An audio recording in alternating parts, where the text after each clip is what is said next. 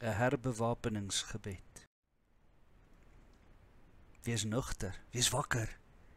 Julle vyand die duiwel loop rond soos 'n brullende leeu en soek na iemand om te verslind. Trek die volle wapenrusting al wat God julle gee, sodat julle op julle pos kan bly ondanks die listige aanslae van die duiwel. Ons stryd is nie teen vlees en bloed nie, maar teen elke mag en gesag, teen elke gees wat heers oor hierdie sondige wêreld, teen elke bose gees in die lug. Ons moet bid vir die volle wapenrusting van die geloof. Kom ons bid saam. O heilige God, agter ons vye blaar wegkruip is ons kaal en skaam en lewe ons in die swakheid en vuilheid van ewig verlore wees. Maar net U kan ons verlos van hierdie verlorenheid. Ons bely dat Jesus Christus die enigste weg terug na U is. In Hom is die enigste verlossing. Dit is die waarheid. Here, maak hierdie waarheid die begin en die krag en die vasstaan, die kern van ons nuwe mens wees. Laat dit die begin en vertrekpunt van ons hele lewe word. Laat dit ook die begin wees van ons nuwe geestelike aantrek deur die Heilige Gees se heiligende werking in ons lewens. Here, ons grootste swakheid en die grootste teiken wat ons bied in ons stryd teen die wêreld, die bose in ons eie vlees, is ons sondige begeertes, ons gewete, ons gevoelens, Dis waar ons die maklikste aangeval word en ook die seerste kry.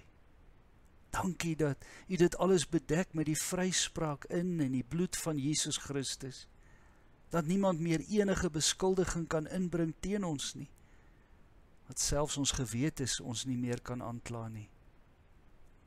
Laat U Gees ons deurentyd verseker dat ons nie meer weerloos is nie, maar veilig is in agter Jesus Christus se versoeningsdood. Here ons lewe in 'n rowwe en gladde wêreld waarin ons so maklik kan gly, struikel of val. Onder alle omstandighede moet ons as Christene geestelik vas kan staan en ook gemaklik kan beweeg. Dankie vir die evangelie boodskap van Jesus Christus se verlossing wat doelgerig relevant, toepaslik en lewensnoodsaaklik is in ons wêreld vandag. Ons kan dit met groot vrymoedigheid onder alle omstandighede en met alle mense deel. Anker ons daarom deur die Heilige Gees in die evangelie en maak ons gereed en bereid om ver en ook oor moeilike terrein maklik te beweeg ter wille van die uitdra van hierdie evangelie. Here, hoe kosbaar is ons gedagtes oor die waarheid van u woord. Dis ons belydenis en ook ons getuienis wat ons nie net wil beskerm nie, maar ook sigbaar wil hoog hou en bekend maak in die wêreld. Dankie dat hierdie sigbare getuienis oor ons belydenis ons ook verbind met ander van u Christus soldate wat in dieselfde stryd gewikkel is. So streef ons ook om te stry vir die eenheid van u waarheid. Laat ons deur die Heilige Gees se kragtige werking kop hou in die stryd en ons medestryders in die oog hou ter wille van onderlinge ondersteuning en bemoediging. Here ons word elke dag onverwags vanuit alle rigtings deur die brandpyle van die bose bedreig. Valse berigte, slegte nuus, wêreldse sensasie wat verwarring, vrees, paniek en twyfel in ons harte wil veroorsaak. Dankie vir die gawe van die ware geloof in Jesus Christus wat soos 'n groot skild ons beskerm sodat ons onder die velste aanslag rustig en kalm in hierdie geloofstryd kan volhard. Dankie vir die geloofskilde van medegelowiges wat ook rondom ons beskerming verleen. Niks kan ons van die liefde skei nie. Daarvan oortuig u Heilige Gees ons daagliks. Here, ons sê dankie vir u woord. Wat 'n kosbare gawe en dit in ons eie taal. U woord rus ons toe vir die aktiewe geveg waarby ons nou elke dag betrokke is.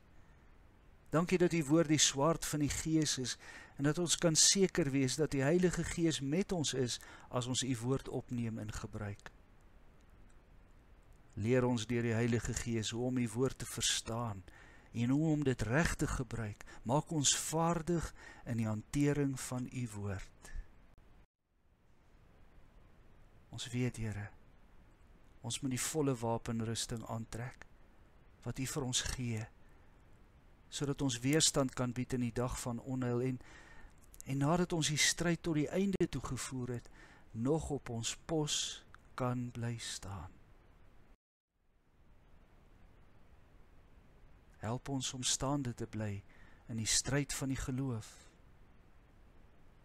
Help ons om elke dag bidtend te lewe.